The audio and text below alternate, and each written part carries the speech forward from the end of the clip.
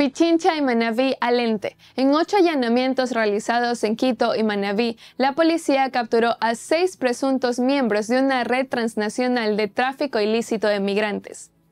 Acana de una. Capturan en Nariño, Colombia, a Carlos Mesa, uno de los capos ecuatorianos más buscados por los Estados Unidos. Mesa es uno de los nueve narcotraficantes que fueron acusados de conspiración internacional de distribución de cocaína. ¿Y dónde están los guías? La fiscalía procesó a tres guías carcelarios que intentaron ingresar armas a la penitenciaría del litoral, pero no irán a prisión porque un juez les dictó medidas cautelares. Nuevo y de paquete. Esta mañana Luis Ordóñez se convirtió en el sexto funcionario en liderar las cárceles del país en el SNAI durante el gobierno de Guillermo Lazo. Ordóñez es coronel de las Fuerzas Armadas en servicio pasivo y tiene una licenciatura en Administración y Ciencias Militares por la ESPE.